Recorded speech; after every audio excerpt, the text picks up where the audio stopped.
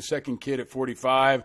So uh, my recommendation is get in shape, man. Get in shape because there's nothing more physically Funny, I've demanding. been working out. I've been working out more consistently the last six months than at any time since I since I left the agency, and I feel like I only worked out a lot there because they actually paid us to work out. You know, they you could, not not like you guys with PT where it's mandatory, but you were allowed to go and work out for an hour a day.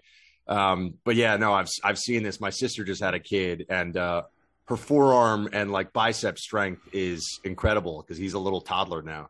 and the and the injuries you'll get. Um, you know, I got hurt uh, jumping on a slip and slide yesterday. Definitely an old man injury, uh, and just picking up things. You I know, thought they you'll- you- discontinued those things because so many people were dislocating their shoulders. Am I? am No, I- man, they're new, now they're improved. They're wider, they're longer, they're supercharged. I mean, I can attest that they go faster than they ever did. It's better than when we had a long sheet of plastic that my dad used to get from his job and we did a fire hose. But